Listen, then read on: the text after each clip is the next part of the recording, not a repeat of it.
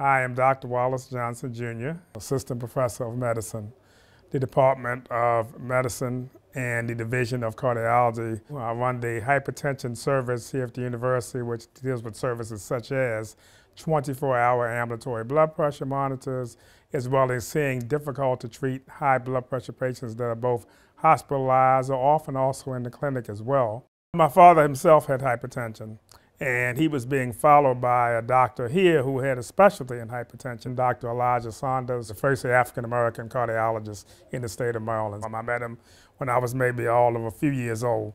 So that's how I first met him, and then he began to push me to come here after I decided I was going to go to medical school. The best part is actually seeing people who come in from other facilities, often stating that they've never had their blood pressure be less than 130 over 80 before, and seeing that happen for the first time is a big thrill for me.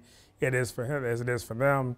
And also when they get to that point, seeing the number of complications they appear to be heading towards suddenly be cut off. No more problems with moving towards worsening kidney disease, maybe not moving to dialysis, not moving to a heart condition, or not moving to a full-blown stroke. And in addition to that, I have a special interest in outreach in the Baltimore community for dealing with health disparities, health issues in the Baltimore community, uh, especially those with special populations such as African Americans.